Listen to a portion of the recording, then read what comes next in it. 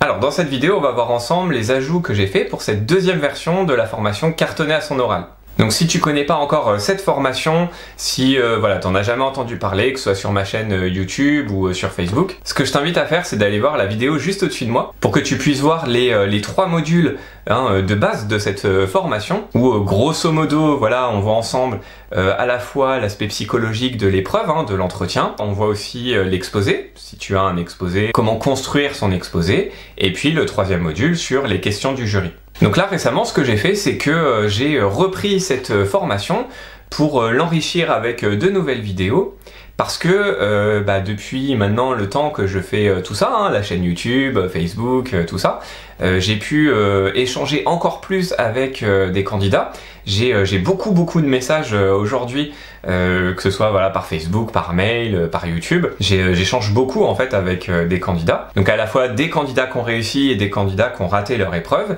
Et bah, du coup je m'enrichis hein, de, tout ça, de toutes ces expériences dont on me fait part. C'était déjà le cas hein, à l'époque quand, j'ai fait cette formation.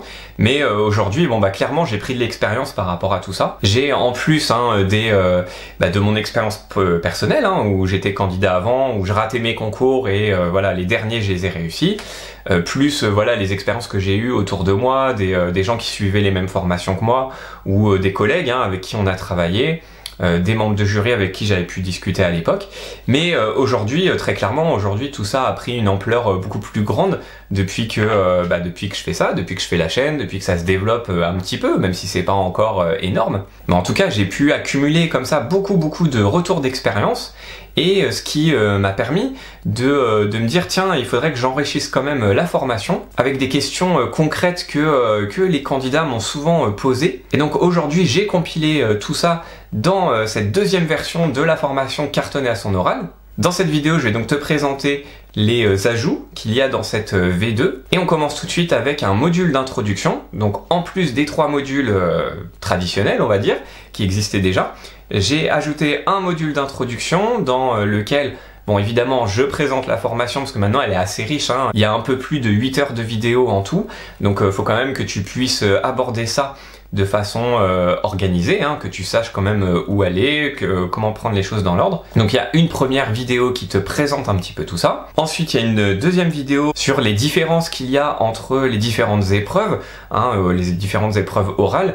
Euh, c'est évident que si tu passes un oral d'attaché en externe ou un oral euh, de rédacteur ou d'adjoint en interne, ça va pas être la même chose, on n'attend pas les mêmes choses de toi. Les épreuves sont très différentes, hein, les épreuves d'entretien, entre les différents concours. Donc euh, le but aussi, à travers cette première vidéo où on rentre vraiment dans le, dans le vif du sujet, c'est que tu, tu fasses, enfin que tu suives la formation en fonction de ton épreuve à toi ça va pas être la même chose euh, entre voilà deux, euh, deux, candidats qui passent des concours différents. Donc vraiment, je t'invite à euh, faire ce travail. On va voir ensemble comment comment faire. Hein, c'est tout simple. Mais voilà, tout le tout le suivi de la formation va se faire en fonction de ton concours. Ensuite, ce que je te propose dans ce module d'introduction, c'est de faire comme j'avais fait sur la formation, sur la note et le rapport, le rapport avec proposition, c'est d'étudier des notes de cadrage. Donc ce que j'ai fait, c'est que j'ai étudié deux notes de cadrage différentes.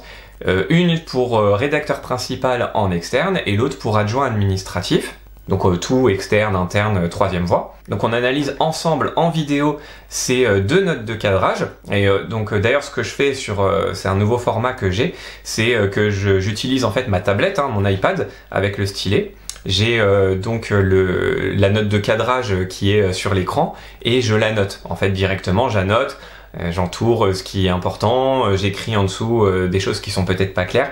Voilà, je commente la note de cadrage pour déblayer en fait c'est ça en fait le but, hein, c'est de faire un premier déblayage sur, sur ce qu'il y a à faire, ce qu'il y a à pas faire lors de nos révisions. Et puis comme c'est pas suffisant, c'est un, une première étape hein, finalement, c'est de se dire comment j'incorpore tout, tout, ce travail. Donc ce que je fais à travers une autre vidéo, c'est euh, donc pour chaque note de cadrage, hein, une vidéo de, chaque, c'est que je, euh, je, te propose un tableau personnel euh, que moi j'utilise comme base en fait pour réviser. Hein, c'est ce que j'utiliserais en tout cas moi aujourd'hui si je repassais un concours comme base de révision pour mon oral, pour mon, mon épreuve orale.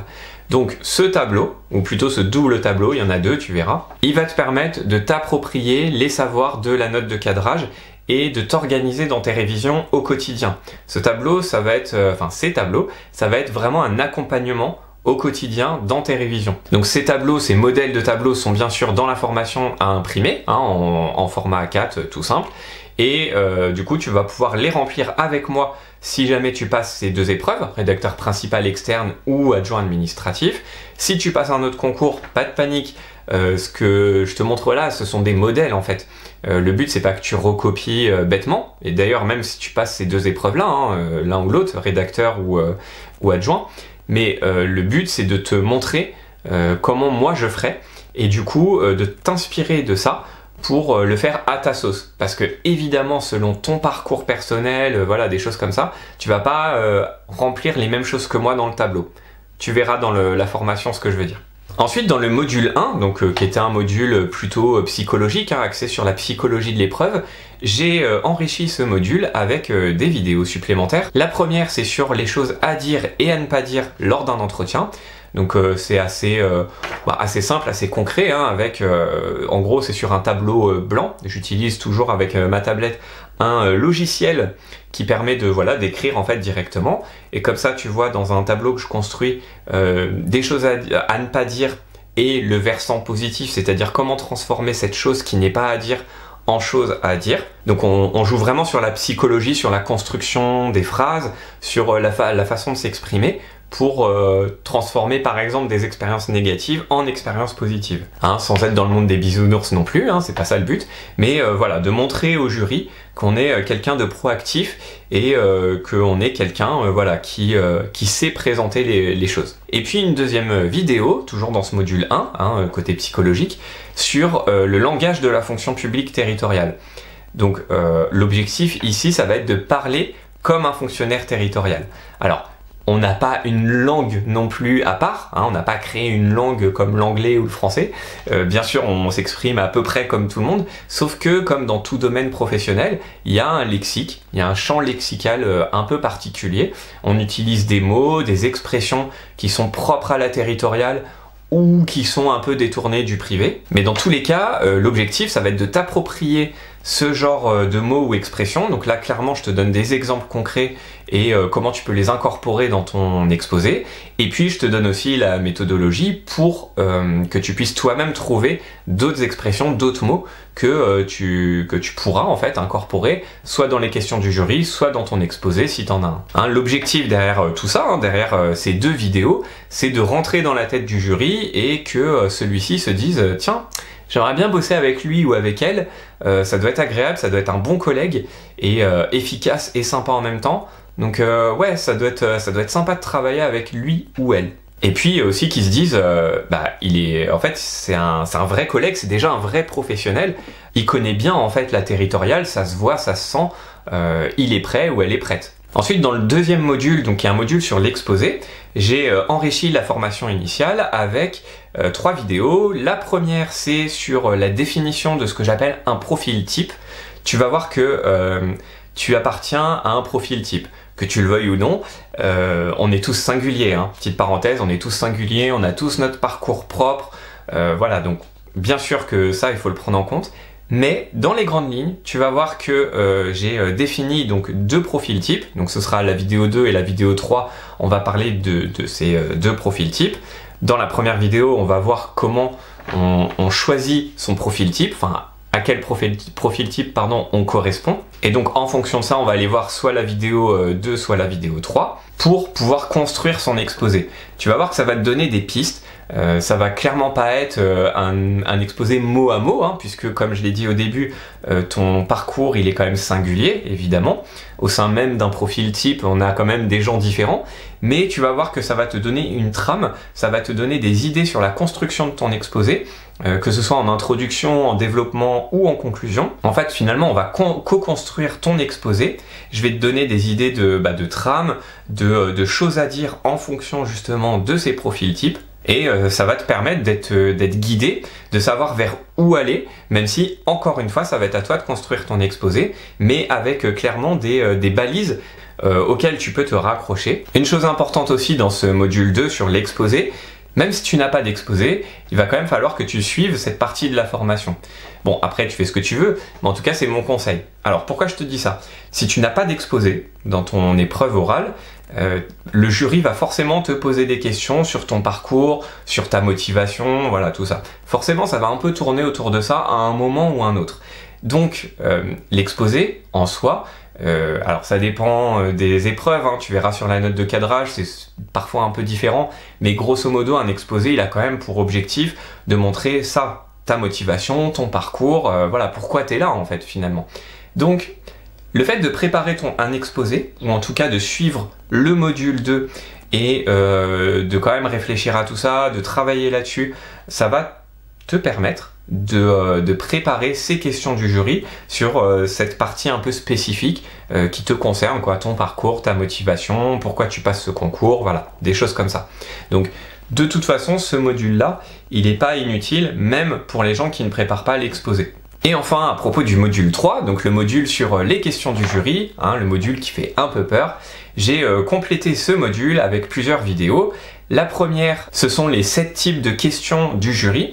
Donc j'ai euh, analysé beaucoup de questions, des dizaines voire plus, de questions du jury, donc que ce soit à travers les retours que j'ai eu de candidats, mon expérience perso et des expériences de membres de jury que j'ai eu hein, en retour et j'ai pu les regrouper à travers sept types de questions différentes qui appellent forcément des façons de répondre qui vont être différentes hein, en fonction de, ces sept types de questions. Par exemple, on répond pas de la même façon à une question de cours et à une question sur euh, notre parcours euh, professionnel. Donc pour que tu puisses réviser tes euh, questions, enfin le type de questions que le jury peut te poser euh, le jour J, euh, que tu puisses réviser ça de façon assez claire parce que c'est vrai que sur réviser les questions du jury c'est difficile, on est, on part un peu dans tous les sens, on sait pas trop. Là, ça te permet d'avoir bah, une méthodologie par type de question. Donc pour chaque question, bien sûr, je te donne un exemple de questions que le jury pourrait poser et la réponse qu'on pourrait donner. Et à travers cette réponse-là, le but, c'est pas juste comme on a dans les manuels, tu sais, euh, euh, je sais pas combien X questions euh, du jury, voilà, pour t'inspirer de ça, même si c'est très bien aussi hein, de travailler là-dessus.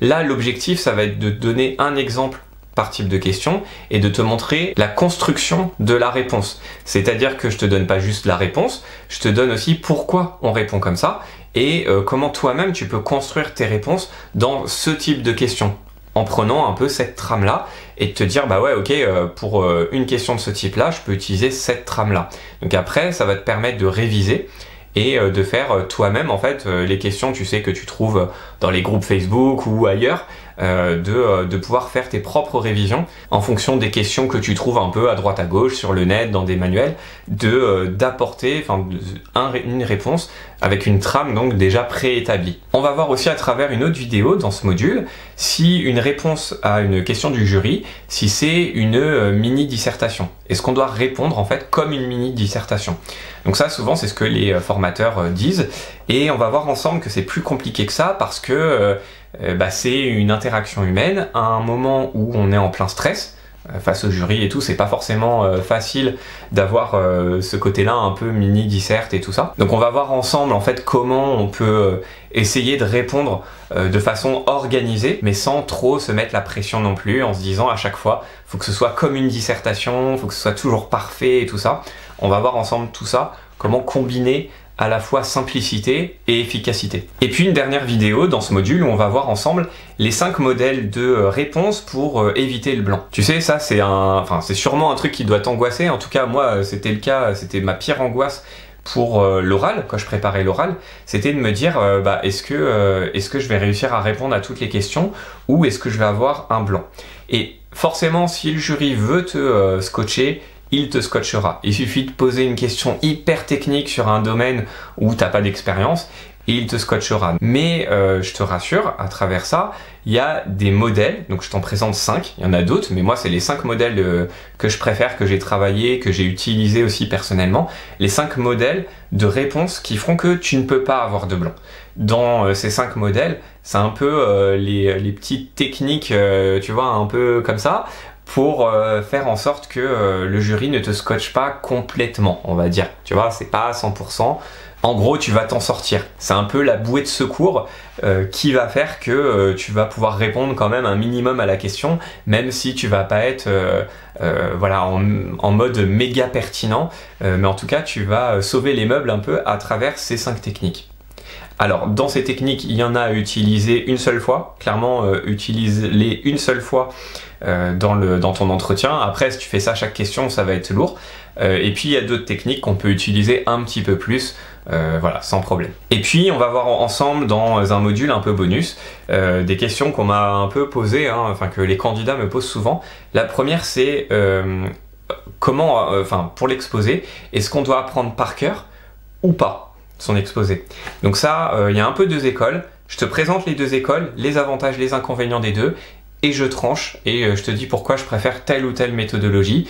Et comme ça, ça va t'aider à toi-même trancher tu iras pas forcément dans mon, dans sens, hein, tu, iras dans le sens que tu veux, mais en tout cas je te donne toutes les billes pour que tu décides une bonne fois pour toutes si tu apprends ton exposé par cœur ou si tu apprends en gros les grandes lignes et que tu laisses un peu plus de, euh, de flow, euh, un peu plus de liberté dans ton speech.